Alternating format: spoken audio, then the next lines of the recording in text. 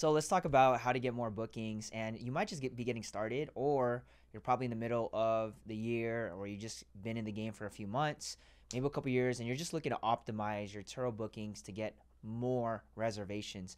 Maybe in your marketplace, it's not as hot, your car's been sitting. This is just for people to automatically get instant bookings. And I've experimented with this so many times. So I'll give you guys a few things on how we do it. So let's tap in. I'm a Las Vegas power host on the platform with over 20 plus vehicles. We're selling cars, buying cash cars. We're doing a lot of stuff. Been doing this for over 14 months now and we've scaled it quick. I've ran several different businesses. I'm still running different businesses. So Turo just kind of came into the mix.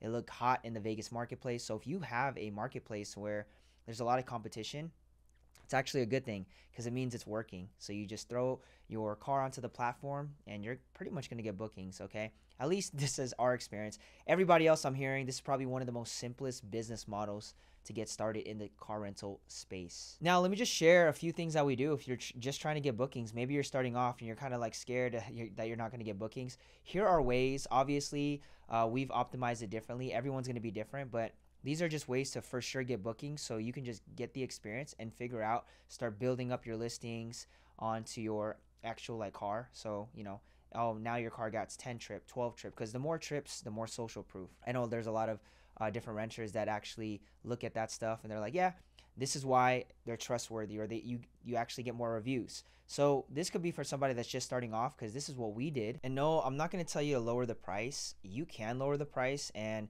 do price wars with the competition or people in your marketplace, but there's other ways to optimize your listing. The first way is to offer delivery.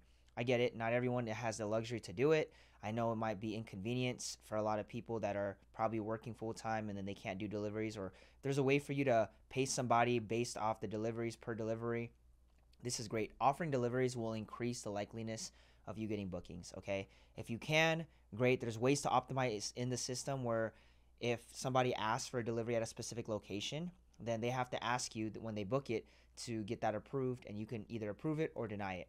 That's a way to get bookings, okay? Just by doing deliveries. Another one is by doing free deliveries. So, again, if you have the luxury to do that, or maybe cheaper delivery. Some people like us, we do 120 per delivery. I don't care where you're at. You could be a block or a couple miles away. We charge for deliveries anywhere outside of home base.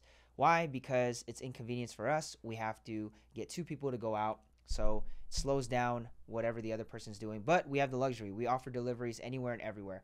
That's just us because we have the luxury. We already have the team set in place. Deliveries and free deliveries will definitely give you more bookings. Another thing that other people do when it comes to like the daily rate on uh, for miles, what Turo does is it gives you a minimum, and this is the lowest you can offer is 200 miles per day. So let's say somebody booked it for four days, 200 times four. They have 800 miles in four days with a vehicle, or else they won't get charged plus mile after that. Turo, they charge a few cents. I'm not sure the exact cents. It's it's always been changing. I think it's like around 25, like a quarter per mile that they go over the booking, and that gets charged after you calculate it on and uh, through the trip.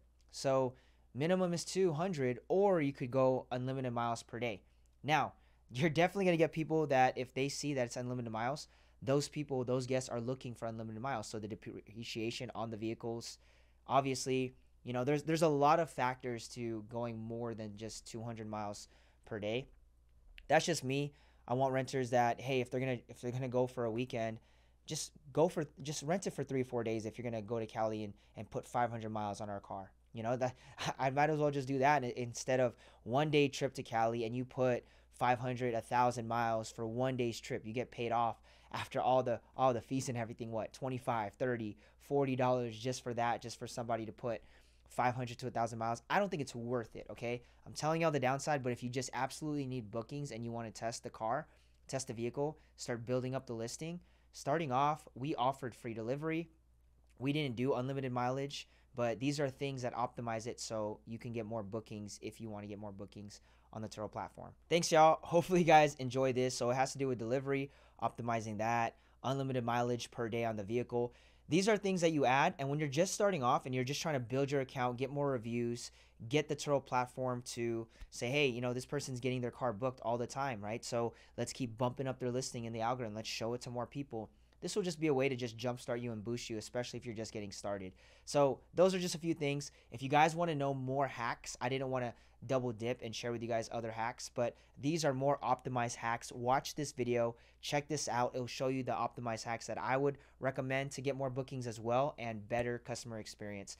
Y'all be blessed. Have a great week. I'll see you guys soon. Thanks so much. Bye bye.